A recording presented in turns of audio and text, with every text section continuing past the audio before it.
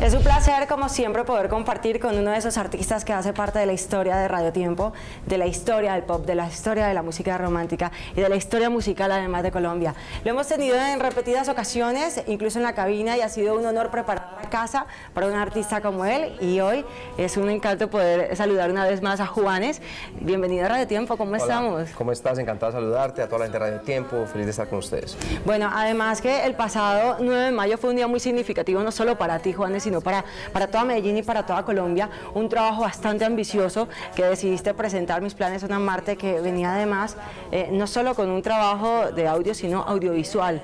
¿Se cumplieron las expectativas? Sí, mucho más de lo que imaginamos, obviamente. Ha sido un proceso muy bonito desde que comenzó este álbum.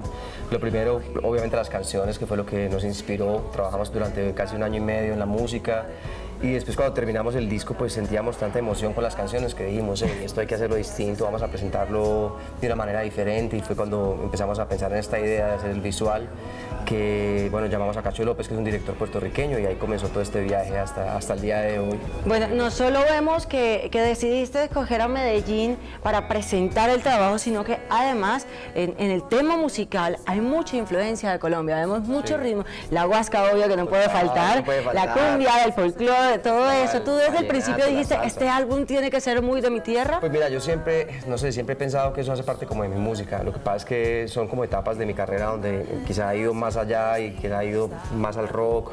Pero en este disco en particular sí, tiene mucha influencia de eso, aunque literalmente tú no vas a escuchar una cumbia o un vallenato, ¿me entiendes? Es como la parte conceptual, digamos, de estos sonidos y estos ritmos que están ahí, eh, más a través de mi guitarra o a través de la forma como canto.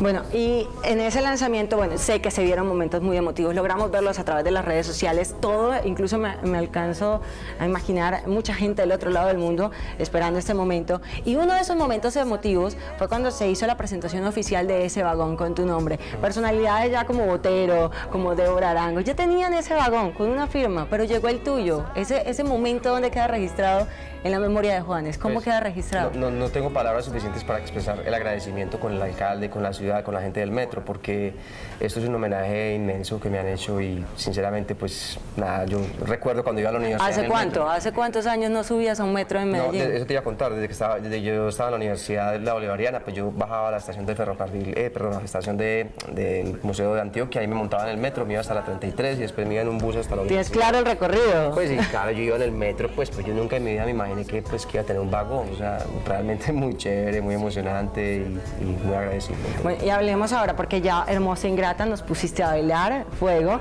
pero ahora viene ese ratico además con un artista pereirana que está radicada en Miami, ¿verdad? Que hace parte en Los Ángeles. Bueno, y, y, viene este ratico, este ratico que se une como una de esas canciones. Hablemos un poquito de esa bueno, canción. El ratico es una canción que tiene mucho elemento, digamos, de esa música popular, cantinera, como que yo escuchaba cuando estaba más, más, más pequeño, y tiene esa influencia de, de, de, esa música de Octavio Mesa, de esa música huasca, de ese género, pero también con un poco de, de dancehall y un poquitito de, reggae. Y bueno, con Cali Uchis, que es una diosa, para mí me encanta. Yo no conocía a Caliuchis hasta el año pasado y no sabía que era de Pereira porque ella canta en inglés, yo no, no había conectado Pereira con Caliuchis. de repente pues me emocionó mucho saber que es de Colombia y, y, más aún que pudimos hacer juntos esta canción. Por favor, un saludo para toda la gente de Radio Tiempo, sabes, siempre claro te lo hemos sí. demostrado no, que yo... es tu casa, que te queremos, te llevamos en el corazón. Sí, les agradezco mucho a ustedes. Y, y, seguro más de uno está pendiente en este momento de todo lo que tú estás contándonos, así que por favor sé tú quien lo saluda. Escucho Radio Tiempo todo el tiempo.